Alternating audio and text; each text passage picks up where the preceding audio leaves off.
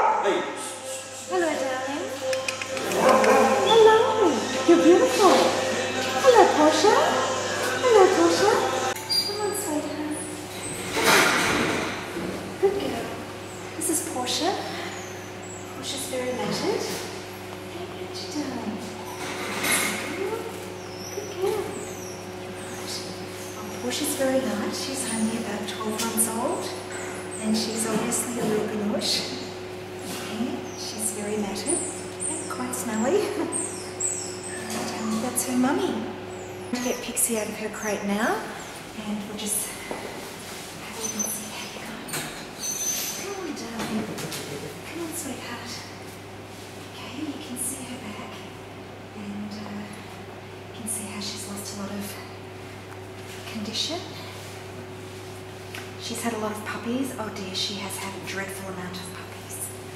Okay, come here, sweetie. Come on. Okay. No more. No more. No. It's all right. Okay, shall we go? Okay, we've just picked up the three dogs and um, we're heading to the vets now.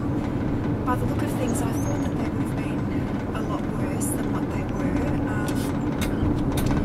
Portia being young, I think she will just need a really good groom and um, she'll be fine. Her mum, um, Pixie, obviously has um, an issue with the tumours or if it's um, uh, a fatty cyst or hernia, I'm not quite sure. It looks like she's had an enormous amount of puppies from her undercarriage, which is incredibly sad.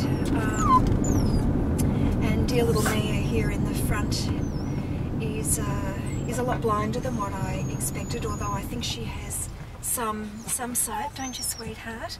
She wouldn't let me go near her mouth. She's obviously got a very painful and festering mouth, um, but she's a dear little soul, and I'm sure that we will find a great home for her once we get her sorted out. So onward and upward. It'll take us a while to get to the vets, but um, it'll be well worth it. You'll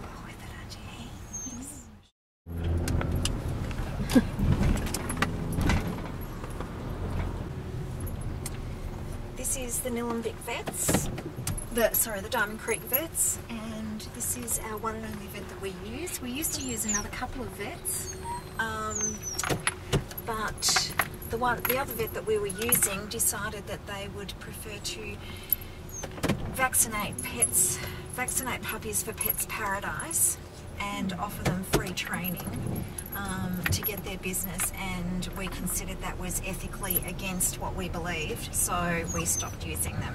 Mm. Mm.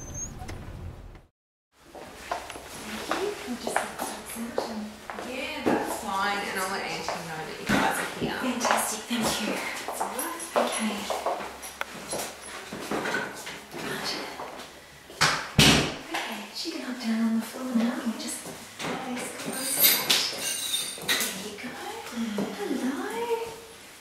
Hello. Aww. So cute. Hi. Okay. Um, We've just let the dogs out of the crate and they've all just had a drink.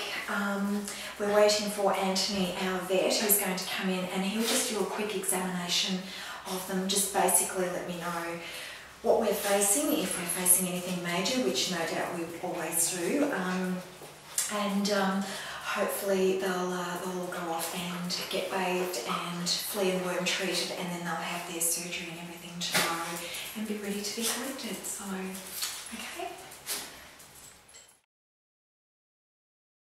Yep, we're going to um, open up the dogs with Anthony at the clinic tonight. We're going to get Portia's bottom shade straight away. That'll be the first thing we do. Um, we're going to check Mia to see if she's got diabetes because she's got very bad um, cataracts on her eyes and she is drinking quite a lot, so that'll be another thing. And little Pixie here looks like she might be a little bit of Chinese crested, which is really nice because Linda, who's going to foster her, loves Chinese cresteds. So um, we'll leave these two and we'll leave the three of them. They'll have their surgery tomorrow and they'll, then they'll be collected on Sunday once they've recovered. Okay? Um, if you just want to tell us your name and just tell us the names of the dogs. and- Yeah. So I'm Bridie, and uh, this is Jack Happy, who lives with me permanently, and Rufus and Sealy Booth. Sealy is a foster dog with me at the moment, but um, Rufus and Jack Happy are mine permanently now, but came through Rescued with Love. Um, how did you come to be part of Rescue with Love? I lost an elderly dog a couple of years ago, so he was uh, 16 years old, and when he died, we went looking for a new dog and um, went through the pet rescue website and found Rufus, who was a rescued with love dog. And from that point, I wanted to get more involved in uh, the the rescue scheme, and so contacted Kay at Rescued with Love and asked how I could help, and she suggested fostering would be a, a good way of helping out. Um, what does being a foster carer entail? Being a foster carer means having quite a bit of chaos in your house at times, but uh, it means walking dogs regularly and um, trips to the vet if necessary, flea medication, feeding them well, socialising them, and generally just assessing the behaviour of the new foster dog to determine uh, how it should be rehomed and what kind of environment would suit it best. Um, do you find it hard when you have to give the dogs away? Giving them away. Yeah. There are a few tears, but uh, generally it's just really, really rewarding. And all the ones that I have rehomed have just gone to really lovely, lovely homes. And you stay in touch with those people who adopt them as well, which is great. so you, you do feel you're making a difference? Yeah, absolutely. Yeah, it's great. Hi, I'm Linda and I'm a foster carer for Rescued with Love. This is little Cookie and she came to us from around about Greensborough area. She'd been left in the pound, um, an older dog with terrible teeth uh, or abscess and everything like that. We've had all her vet work done and um, she's now just about to go to a new home um, next weekend, but she was in a terrible condition when we got her and her jaw broke during the surgery for her teeth to be out because of the infection was so bad.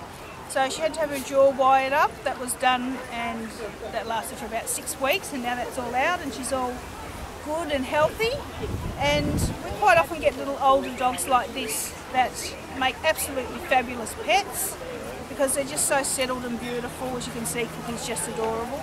And um, and then we do all the vet work for them, make them happy and healthy, and we rehome them into fabulous homes, only the best homes, so that they'll have everything that they want for the rest of their lives. And that's what I do, and I do that on a regular basis. I take little dogs in all the time, find them the perfect little home, and then we take the next one so that when a dog gets rehomed, uh, we take the next one before it gets put down in the pound. Is that enough? Um, how do you think you're going to cope with having a hand cookie here over? Well, Cookie's been with me for about eight weeks, so no doubt I'll be complete Suki Lala when I have to hand her over because I've fallen madly in love with her. But we can't keep the foster dogs because they, they need to find their own little homes and um, homes where the people can give them a lot more love and time than, um, than what I can because I have my own dogs. So um, yes, it's very difficult sometimes to actually give up a dog, but for the for the benefit of the dog, we have to do that, and for the benefit of the ones that are actually in the pound and might die if we don't have a spot to take them. So it's very important that we that we keep rehoming the little ones um, to save the ones in the pound before they're put down, because they're all worthy of homes. And just because they're an older dog like Cookie doesn't mean that they're any less worthy. Cookie will have another nine years probably of life and she'll make her new owners really happy because she's an absolute doll. She's a beautiful girl. Yeah, um, my name's Renee and this is Gavin. Um, we've been looking on a few websites in the last four or five months, I guess, to have a look at a rescue dog and um, saw Cookie probably about a month ago and fell in love with her. So I've been hassling Linda to be able to meet her and I think it's just really important that um, we look at adopting a rescue dog just to give them a second chance, to give them a little bit of love and yeah, that's why. What was the process that you had to go through? Um, we just sent Linda an email and asked her a few questions about Cookie and um, filled out an application form and it's been a little bit longer just due to some health problems but yeah, just firstly met her today and then next Saturday she's going to come to our home and have a look around and see if she fits in well. You excited about taking her Oh her yeah, home? very excited. Want to take her home today. I'm Netta. Um, this is Charlize. She was a, um, a an ex-breeding bitch from Puppy Farm. Um, she looks like she's bred quite a few um, puppies in her short three years. Um, she's a beautiful, um, calm, happy girl. Loves people, loves dogs. And if I could, I'd but that's not going to happen. So, what's involved with being a foster carer? Um, this. um, you know, all, all you need is to to be able to feed them. Um, you know, keep them warm, happy, clean, and loved. Uh, sometimes there's a little bit of rehabilitation involved.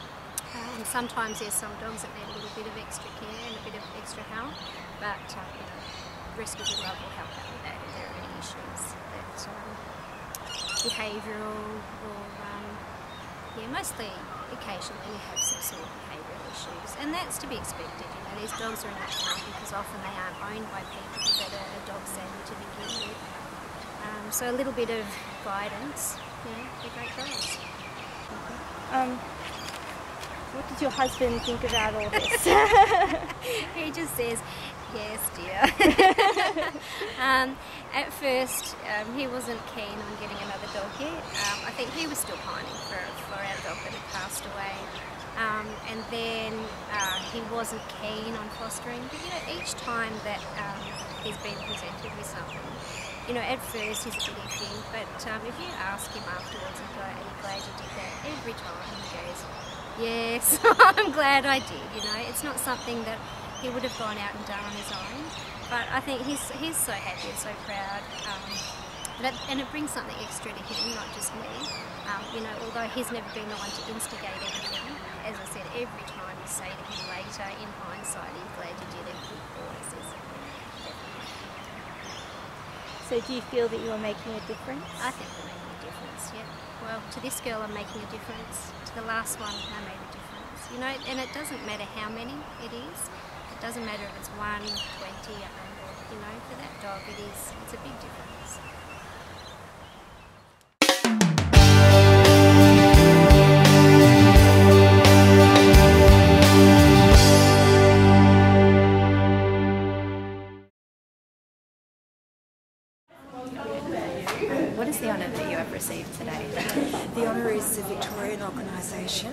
Community and uh, Public Service Award for 2018. Kay is an outstanding example of a Victorian making a difference to the community and her work and that of Rescue with Love. Please join me in congratulating Rescue with Love.